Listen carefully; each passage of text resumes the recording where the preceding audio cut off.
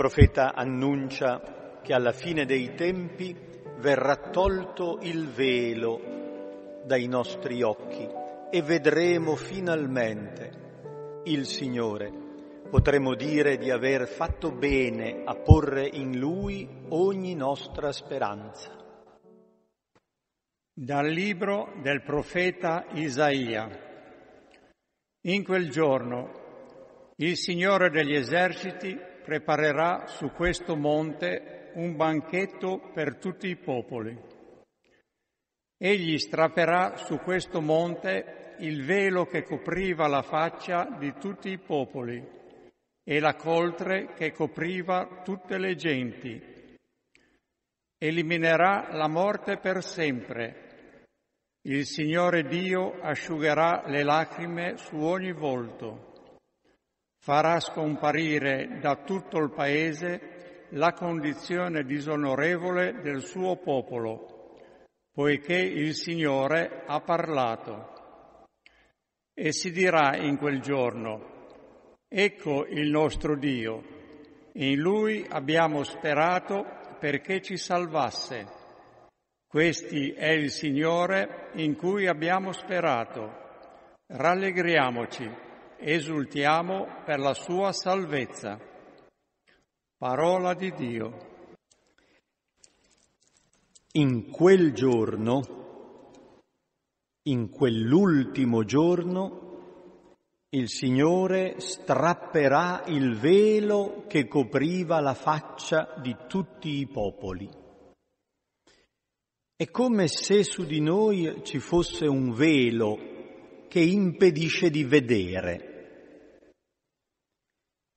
In quel giorno il Signore strapperà il velo e potremo vedere oltre e riconoscere com'è la realtà. Scrive queste parole un profeta apocalittico che ha composto un poemetto inserito nel libro del grande Isaia. I moderni hanno adoperato la parola Apocalisse per indicare proprio la rivelazione. Non è una catastrofe, una distruzione, bensì una rivelazione. E il profeta apocalittico annuncia che il velo viene tolto. Il nostro sguardo è svelato per cui riesce a vedere oltre il dramma della morte. E il profeta a nome di Dio annuncia che per quel giorno il Signore prepara un banchetto per tutti i popoli. È una immagine di festa, di inaugurazione. Anche noi siamo abituati quando si inaugura qualche cosa a celebrare un banchetto, non solo la parte liturgica, ma anche quella gastronomica fa parte della nostra festa. È difficile che ci sia una festa senza che si mangi qualcosa. L'inaugurazione del nuovo mondo comporterà un banchetto per tutti i popoli.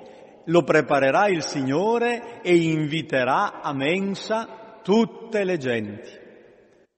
È il banchetto escatologico, è quello finale, è la grande festa dove il Signore ci invita alla sua mensa. L'Eucaristia, che noi celebriamo lungo tutta la nostra vita, è un anticipo di quel banchetto. Pregustiamo il banchetto celeste non è ancora la pienezza dell'incontro, è già un incontro ma velato. Il Cristo è presente sotto i veli del mistero.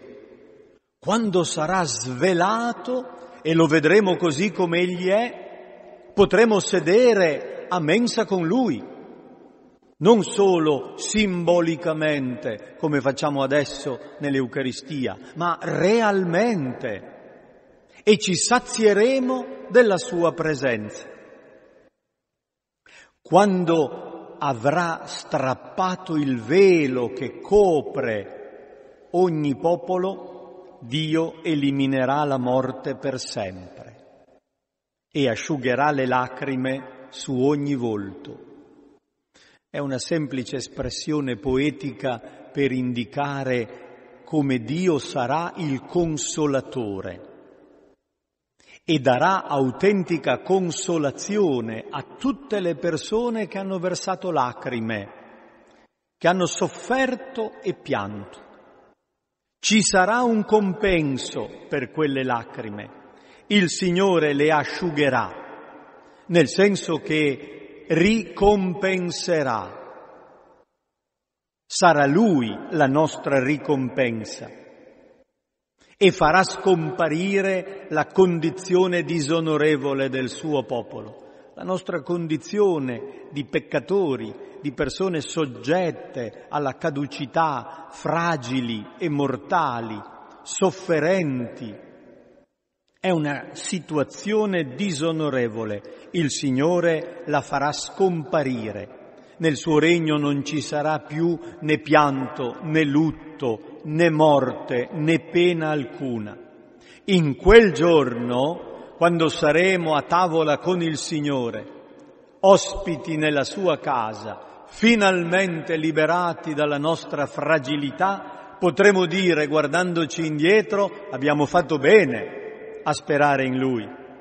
Ecco il nostro Dio nel quale abbiamo sperato.